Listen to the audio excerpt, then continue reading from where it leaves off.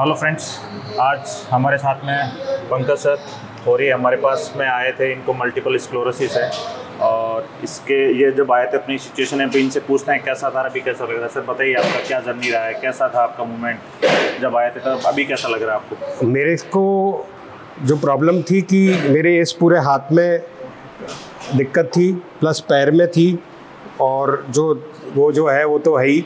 तो लेकिन सर ने मुझे बहुत एक्सरसाइज कराई। और एक्सरसाइज करने से मुझे ये फ़ायदा हुआ कि एक तो मेरे जो हाथ टाइट था, वो वापस से सही हो गया। पैर में जो प्रॉब्लम थी, वो सही हो गई। और मैं, अब मुझे लगता है कि मैं करीब करीब 95 से 98 परसेंट फिट हूँ। थोड़ा बहुत जो है वो टाइम के साथ शायद ठीक हो जाएगा। सर किस किस प्रॉब्लम से आपको जूझना पड़ रहा था जब आप आए थे? तब किस किस मूवमेंट सर जैसे ये हाथ का था ग्रिपिंग नहीं था। तो हाथ में पकड़ा नहीं जाता था कुछ भी चीज़। टाइट था ये बहुत ज़्यादा और और अभी ग्रिपिंग कैसी है आप अब तो सही है सर।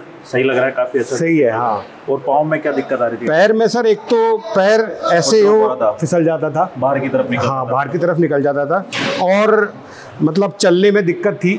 तो अब तो मतलब इसमें यह है कि मैं पैर इधर तो गिरता ही नहीं है। बाकी चलने में आपने देखा ही होगा कि मैं बिल्कुल रेगुलर ढंग से चल पा रहा हूँ अब। तो सर आप जो भी व्यूअर्स देख रहे हैं उनको क्या आप मैसेज देना चाहेंगे हमारे इस क्लिनिक के बारे में और हमारी टीम के बारे में? सर मैं कहूँगा कि यहाँ पे बहुत ही अच्छे सारे डॉक्टर्स जो हैं वो बहुत अच्छे हैं बहुत ही समर्टी सपोर्ट करते हैं और बहुत ही अच्छी एक्सरसाइजेज कराते हैं और कभी ऐसा मुझे फील ही नहीं हुआ तीन महीने में कि कोई डॉक्टर ने ध्यान नहीं दिया हो या कोई कोई प्रॉब्लम करी हो। सब बहुत अच्छे से देखते हैं और सारी एक्सरसाइजेज वगैरह सब इतने प्यार से कराते हैं कि मतलब ऐसा लगता ही नहीं कि कोई दूसरे लोग करा रहे हैं। ऐसा लगता है कि अपनी फैमिली का ही कोई आदमी करा रहा हो। सर, एक बहुत तरह का ऐसा होता है कि आजकल जब इस तरह की जो प्रॉब्लम्स होती है तो बहुत सारे लोगों का क्या प्रॉपर तरीके से ट्रीटमेंट मिल नहीं पाता है अच्छी जगह पे जा नहीं पाते हैं तो वो इस तरह की समस्याओं को कई बार बहुत ज़्यादा डिले भी कर देते हैं। उसके कारण उनका जो रिकवरी भी है ना वो बहुत स्लो हो जाता है।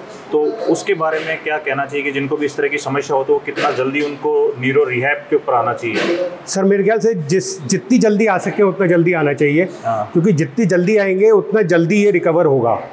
जितना डिले करेंगे उतना ही प्रॉब्लम ज़्यादा होगी। तो इसमें होता क्या है कि जिन भी पेशेंट्स को इस तरह की न्यूरो से रिलेटेड प्रॉब्लम होती है stroke paralysis spinal cord injury जो पेशेंट है उसमें क्या होता है कि एक टाइम पीरियड होता है बहुत एक्यूट होता है। उस टाइमिंग पीरियड पे आते हैं एक एडवांस न्यूरो रिहैब अगर उनका टाइम भी स्टार्ट हो जाता है तो उनको रिकवरी बहुत फास्ट होता है। जो जितना थोड़ा सा स्लो हो जाता है तो फिर उनका रिकवरी भी थोड़ा सा उसी तरह से स्लो होता है। Thank you so much sir कैसा लग रहा है आपको? बढ़िया लग रहा है? बहुत बढ़िया। Thank you